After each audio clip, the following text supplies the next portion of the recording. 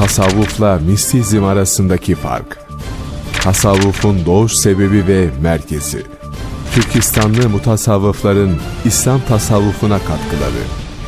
Cemaat ve tarikat farkı. Doğruya Doğru'nun bu haftaki konuğu ilahiyatçı, TV program yapımcısı ve sunucusu Sami Bayrakçı. Ahmet Şimşek'le Doğruya Doğru Cumartesi akşamı Kon TV'de.